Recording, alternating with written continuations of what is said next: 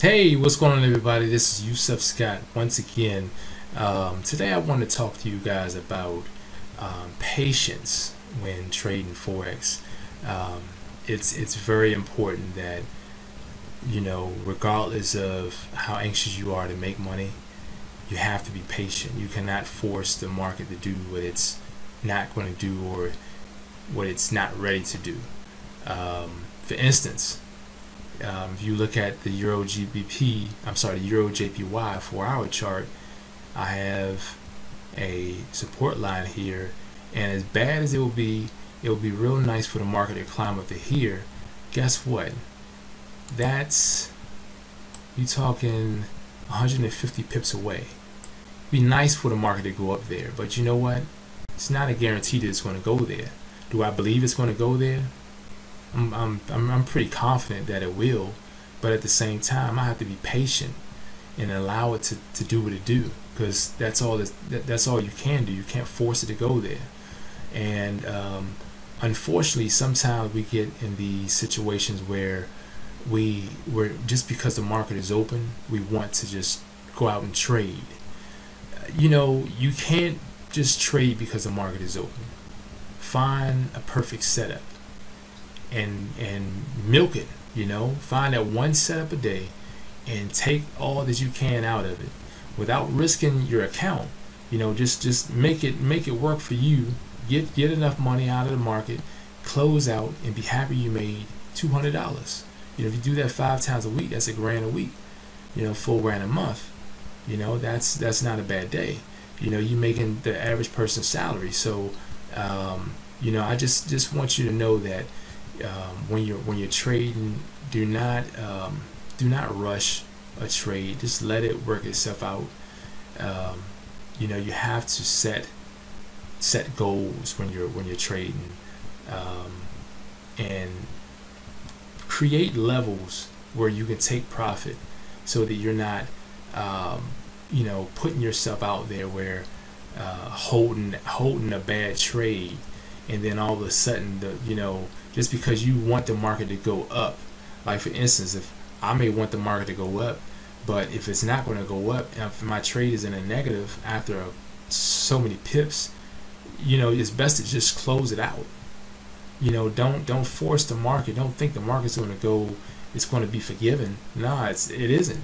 It's going to do what it's going to do you know? So um, you know it's it's so many so many different um, so many different suggestions I can make in terms of trading styles, um, being patient, um, you know, setting your setting your incremental, you know, I'll say setting limits, smaller limits, where you can get take your money and getting back in, so that you're not leaving yourself ex fully exposed and wind up losing all that you have. You know, you can trade at a smaller volume, but just increase it as you go. It's a lot of different ways you can do it so that you're not exposing yourself and, and leaving leaving your, your equity, your hard-earned equity out there to, to just be taken. You know, um, the market makers and the big banks, they can care less. If they want your money, they want you out of there, and they see you're trading too heavy, you know, keep it up. They, they'll, they'll wind up taking it. But um, just just know that um, you know having patience in the market will definitely uh, definitely work for you. Um, something that's very important is if you if you're if you have a small account, trade small.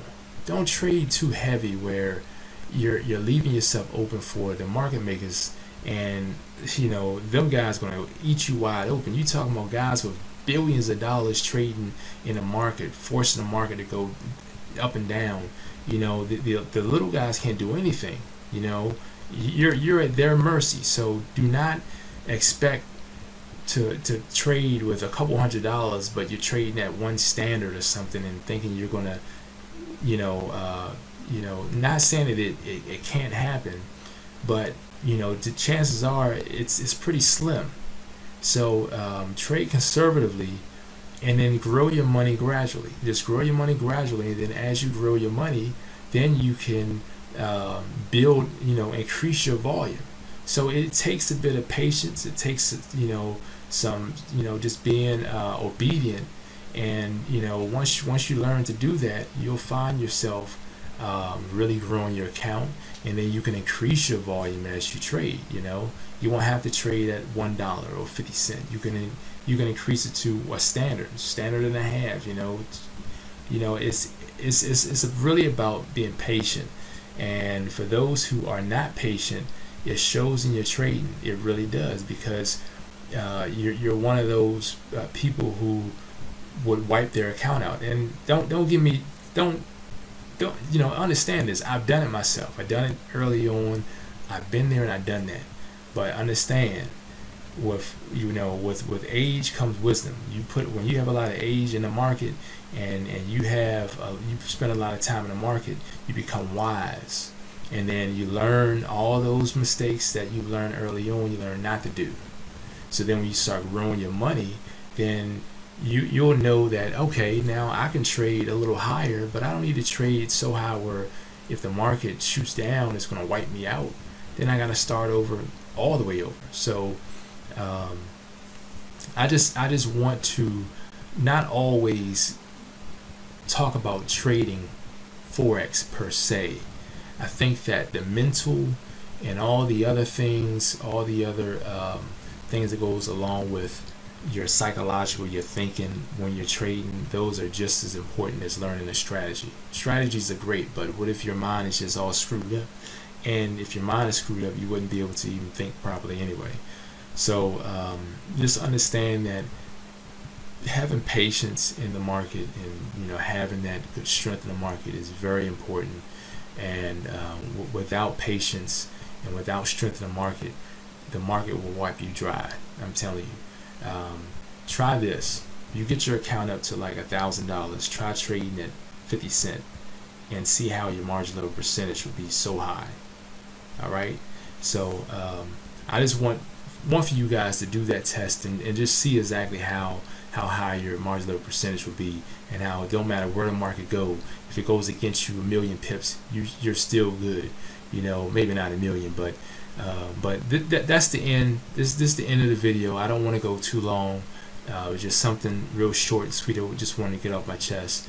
But if you have any questions you need any training contact me email us so darn easy forex at gmail.com I look forward to helping each and every one of you if you have not subscribed yet, please do so because it's only going to help you uh, if you're a part of uh, my my um, my uh, page where I, you know, if you're a part of my channel, you subscribe, you want to get some great content, and every once in a while I may drop some jewels on you. All right, so until next time, you guys have a great night. I'll talk to you guys in the morning. All right, happy trading too. Peace.